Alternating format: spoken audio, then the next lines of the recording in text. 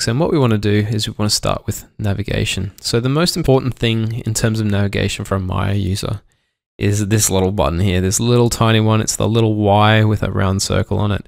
If you're a Maya user, please hit that button. You need to do it every time you load ZBrush.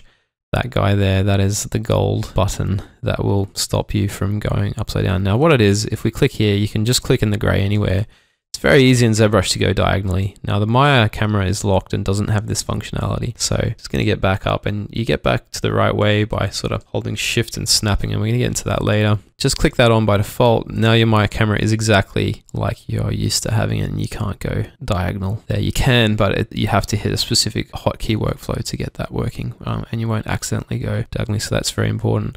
The next thing is, got everything here in display general, the main display stuff, but the angle of view is very wide. It's sort of quite similar to Maya and you've got like a 35 mm lens. Now angle of view does not match the Maya camera lenses. Angle of view, it's not focal length. So for us, going a longer lens is actually making this a smaller number. And I start with this about 20, 25 down there should be a good angle of view that just gives you a long lens and you should always be modeling with long lenses and I'll get into this in a later class but that's just a good one so every time I start a new document you just do that one angle of view and everything set up before we had to set up a lot more stuff so this is actually much better in 4R8 very happy with the changes they've made there now that button, if you just hover over it, it is actually a hotkey. So that's Alt V, so you don't have to search into this every time. Camera of angle of view, Alt V. So let's see if this works just hit Alt V and just tap it. You don't click anything. It's not like Maya's marking menus. Just tap it once and it will sort of hover and then you can click and drag that around. So we'll just roughly put that to 25. Close enough is good enough. I, am not too worried about the exact amount of that. So well, now we're ready to start navigating. So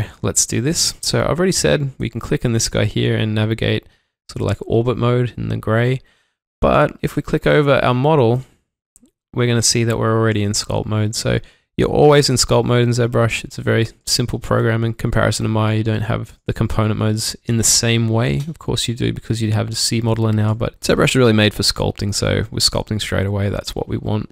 One little thing is that it can be very easy for you to hit the T hotkey. Now, if you hit the, the T hotkey, I believe, you can do some weird stuff like this. Okay, this is going to happen to everybody. You're like, what? That is weird. And yes, it is weird but it's the way that ZBrush works. Now, what you need to do is you need to be very aware that that T hotkey, you can very easily click that. Now, when you click it back on again, you're only going to have one object here and you see our grids come back, but we've got all this blobby stuff. These are actually a whole bunch of extra objects that we've created. Do not stress too much. Just hit Control N. That will clear the scene. So I'm going to do that again.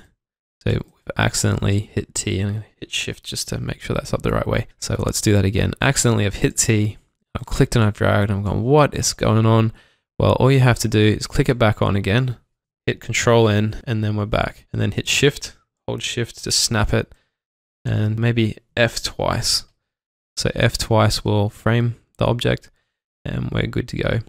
So just remember that little trick. That's a, a great one for starters. So now that we've got this up, we've clicked that on, we've got our angle of view, sorry, at 25, we're ready to start navigating. We've learned how to orbit around. We've learned that we click on that and starting to sculpt, but that's a bit annoying. So right click. Right click is the way for all navigation in this program. And just on the orbit, by default, we, we do have symmetry on, which is great. Uh, to take that off, I'm just going to hit tap X. It's a toggle, so you can put it on and off. And I hold down control here, and this is masking, and just put a little dot in there. Don't worry about masking yet. I just want to demonstrate something. If we right click now and navigate, that is putting, we are navigating around that area, okay? We're not navigating around the center of the object, and this is just very specific to, to sculpting, and in fact, Maya even copies this and has done something similar in the new version. So if I'm around here, and to put another marker there, right click, you can see that we are actually now using that as the pivot point. So I just want to make that really clear. Now, if you want to pivot around the center of the mass, just click F twice, and you have to do it twice. Once is not enough, you're still pivoting around that axis. Hit it again twice, and now we'll be pivoting around the center of your object. So that's how you do like a frame selection in Maya. It is F, but you got to hit it twice. So just remember that. So the pan is very easy. Just again, it's right click, always right click, but hold down the Alt key. And there we go, we can pan.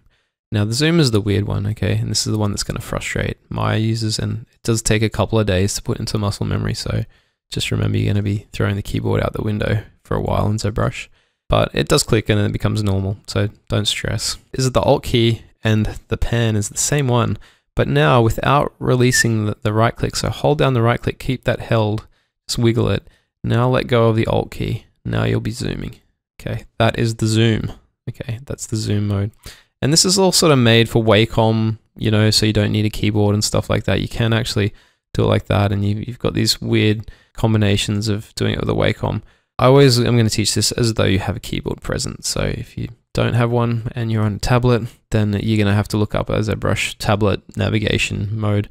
But uh, ZBrush is sort of designed to be a tablet friendly thing. You should be using a tablet too, by the way. Just a, a very low priced Intuos small tablet is what I use. So you don't need these hugely expensive, you know, big tablets. You do not need a Cintiq or anything crazy. Uh, you'll be fine. So there you go. I'm just going to reiterate that. So we've just got F twice, frame on the object. If you right click, you are pivoting off a spot. I'm going to clear that uh, mask by hitting control and then just dragging a mask that will clear it. And we're just going to do that again. So around there. Now to get that back, of course, we can just hit F twice. To zoom, we hold down Alt and right click and then release the Alt and then we can zoom back. And then to pan, we're just Alt and right click and we're, we're cool. So, you know, have a bit of a practice of that and you should